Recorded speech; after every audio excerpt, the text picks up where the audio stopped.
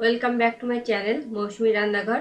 আজকে আমি আপনাদেরকে দেখাবো কীভাবে চাইনিজ স্টাইলে এগ প্ল্যান্ট কারি রান্না করতে হয়। এটি রান্নার জন্য আমার যে সকল উপকরণগুলি লাগছে, সেগুলি আমি একে একে দেখিয়ে দিচ্ছি। আমি এখানে দশ পিস বেগুন এভাবে লম্বা করে কেটে নিয়েছি, তেল পরিমাণ মতো, জল পরিমাণ মতো ওয়ান স্পুন কর্নফ্লাওয়ার সামান্য জলের সাথে মিশিয়ে নিয়েছি, কুচানো আদা ওয়ান অ্যান্ড হাফ স্পুন কুচানো রসুন one and half spoon cooking oil one spoon সাদা গোলমরিচের গুঁড়া হাফ স্পুন নুন স্বাদ মতো, tomato sauce one spoon oyster sauce one spoon chilli sauce one and half spoon O soya sauce one table spoon এবার আমি একটি প্যানে পরিমাণ মতো তেল দিয়ে দিচ্ছি।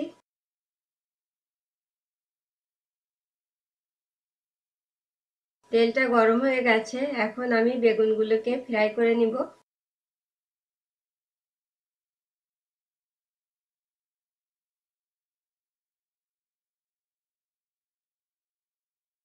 এটা ফ্রাই হয়ে গেছে, এখন আমি অন্য পাত্রে উঠিয়ে নিচ্ছি।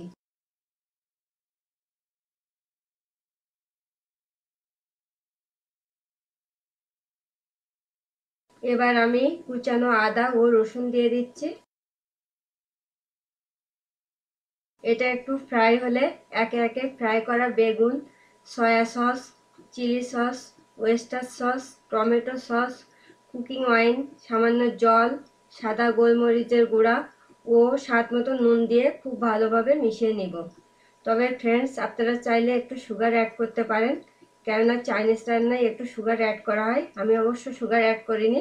তবে নুনটা খুব সাবধানে অ্যাড করতে হবে, কেননা সসগুলিতে নুন থাকে।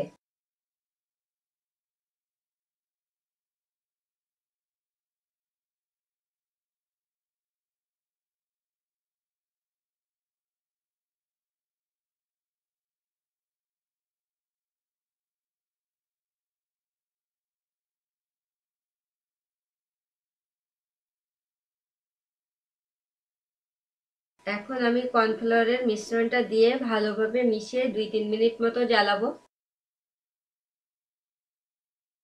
এখন আমি ওভেনটা বন্ধ করে দিয়ে এটাকে পরিবেশন পাত্রে উঠিয়ে নিব।